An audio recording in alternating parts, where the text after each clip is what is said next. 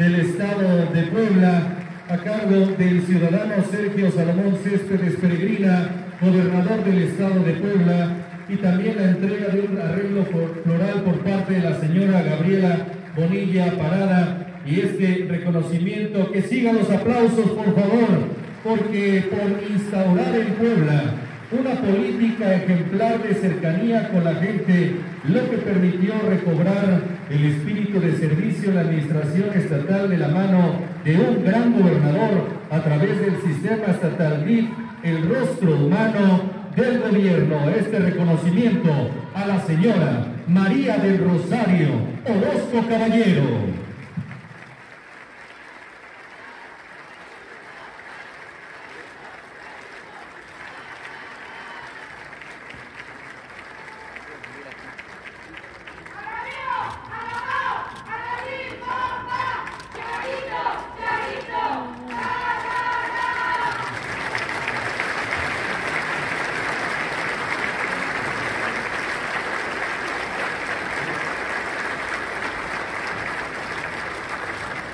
Gobernamos con el corazón. Vamos a